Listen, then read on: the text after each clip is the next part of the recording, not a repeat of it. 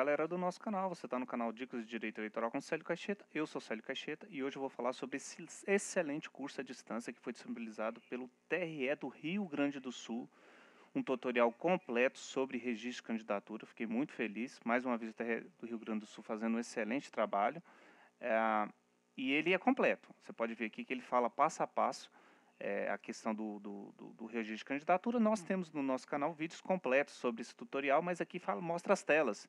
Então tem gente que tem mais familiaridade com telas. Né? É, tanto esse link da descrição do vídeo, é, quanto, quanto a, o link do sistema vão estar disponíveis na, na da descrição, beleza? Olha aqui, vou, vou mostrar para vocês um tópico aqui que eles colocaram, que é a obtenção de chaves de acesso no, no SGPEX. Você vai clicar aqui, ó,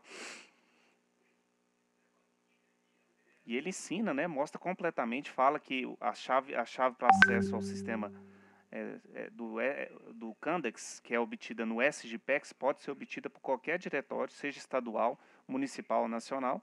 Se o seu diretório municipal não tem contato, não tem acesso ao sistema, entrar em contato com o diretório é, estadual, beleza? O link de, desse sistema também vai estar no vídeo.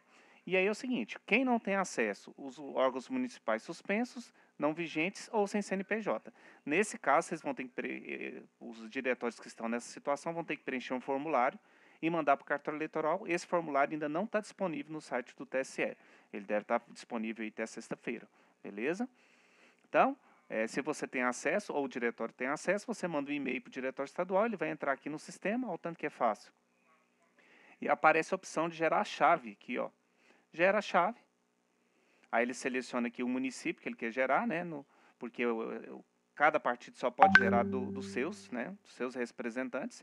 Então vai entrar aqui, ó, ou estadual ou o municipal. Entra aqui.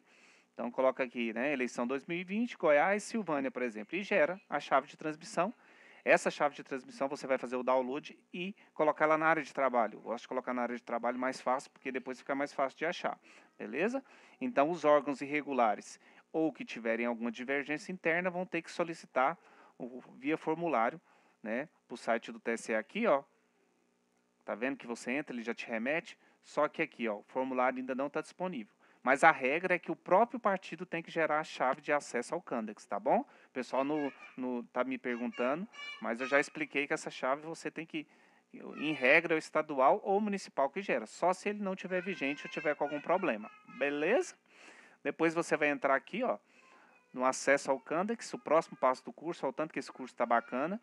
Vai clicar aqui, ó, vai fazer o download da chave, arrastar a chave para cá, ó. Beleza? Adicionar a chave. Clicar aqui nesse botãozinho verdinho, tá vendo aqui, ó?